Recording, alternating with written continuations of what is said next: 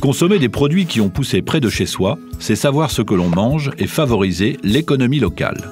Et ça tombe bien, car la région du Havre offre justement une grande diversité de produits alimentaires.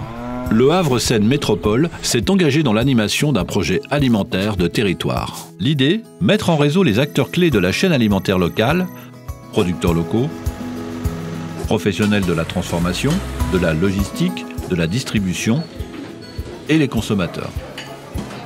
Et ainsi permettre à tous une alimentation saine, de qualité et locale.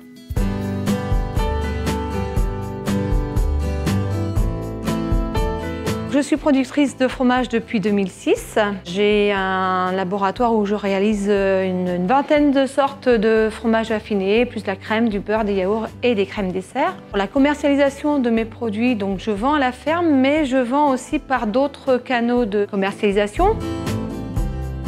Les fermes d'ici, c'est une équipe au service de l'organisation locale et un entrepôt dans lequel nous faisons des préparations de commandes à la fois pour le web et les professionnels. On s'adresse aux restaurateurs, aux traiteurs, mais aussi aux cantines scolaires. On revendique le fait qu'on n'est pas grossiste puisqu'on travaille en collaboration avec les producteurs en toute transparence de marge. Les producteurs sont impliqués dans la démarche et dans la construction du modèle. Et le producteur garde la main sur son commerce et parle de ce qu'il fait aux clients. Nous sommes facilitateurs et accélérateurs de business sur ce schéma du circuit court.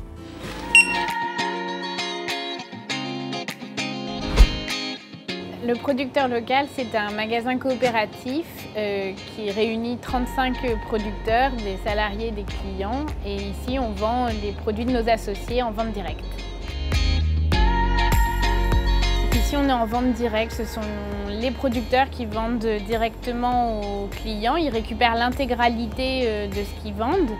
Et en échange, euh, on répartit euh, les charges avec une contribution fixe tous les mois. Donc chacun a son petit loyer qui est le même, peu importe le chiffre d'affaires qu'ils font. C'est vraiment comme l'extension de leur ferme. En fait, on est une société coopérative. Les salariés, les producteurs et la gérance, on est tous sur un pied d'égalité avec l'objectif euh, de vendre euh, euh, le maximum de produits de bonne qualité sélectionnés sur une charte qualité bien précise. Et au niveau des prix, on est vraiment une demande de faire le prix le plus juste pour les clients pour que le producteur puisse être rémunéré et puis que ça soit aussi abordable pour les clients.